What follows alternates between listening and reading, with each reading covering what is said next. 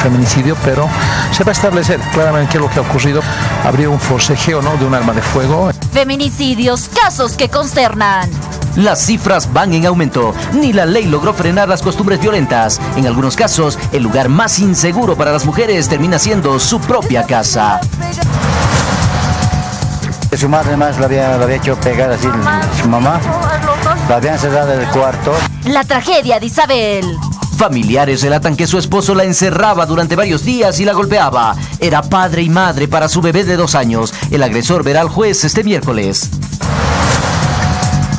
Ya sacó dos a tres pronunciamientos solicitando al gobierno, solicitando la alerta máxima en toda Bolivia. Exigen declaratoria de alerta máxima.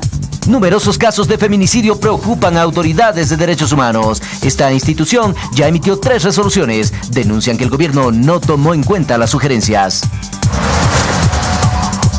A la Corte Interamericana, por intermedio de la Comisión, vamos a tener con toda la seguridad que asistir a la reposición de estos tres magistrados. Harán denuncia internacional. Magistrados procesados y suspendidos anuncian que apelarán a la Corte Interamericana de Derechos Humanos. El inicio de la fase de sentencia está fijado para el 24 de noviembre. Perú tiene una política muy agresiva respecto a, explotar este tipo de recursos para el tema del turismo. Danzas bolivianas en Puno. El carnaval de esa ciudad peruana postula como patrimonio de la UNESCO. Folcloristas bolivianos dicen que el 80% de los bailes son oriundos de Bolivia. Los cambios que se dan en la historia de los procesos políticos no necesariamente son porque tengan que ser jóvenes. Podemos, un fenómeno sin precedentes. En menos de dos meses se coloca como la principal fuerza en España. Podrían romper con el sistema bipartidista imperante en décadas. Desde Bolivia analizamos sus perspectivas. Los recursos tendrán que basarse a un estudio técnico. El presupuesto de la discordia. El Tribunal Electoral pide 177 millones de bolivianos para organizar los comicios regionales de marzo. Políticos se pronuncian. El gobierno dice que con 82 millones podrían hacer la elección.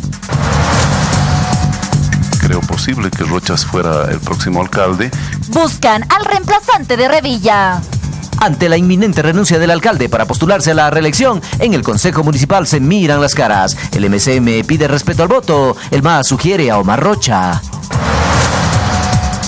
Principalmente en el occidente estamos con cielos despejados a poco nubosos, lo que ha ocasionado que las temperaturas asciendan. Están oscilando en el, en el altiplano, en la ciudad de Oruro, Potosí, entre sus 20 hasta 22 grados centígrados. Ola de calor hasta el viernes.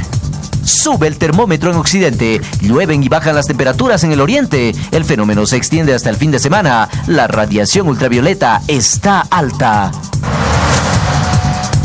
13 años después del atentado que remeció el mundo, el World Trade Center de New York reabre sus puertas. Hoy en el mundo, Nueva York inaugura el nuevo One World Trade Center. Tiene 104 pisos y pretende reemplazar a las Torres Gemelas. En Venezuela, el presidente Nicolás Maduro aumenta el sueldo de los trabajadores en un 15%, pero el de los militares en un 47%. Estados Unidos elige nuevos congresistas. Todo parece indicar que Obama gobernará con mayoría en contra. También sabremos qué hacen juntos el secretario general de las Naciones Unidas con la mujer barbuda. Bienvenidos a Notivisión.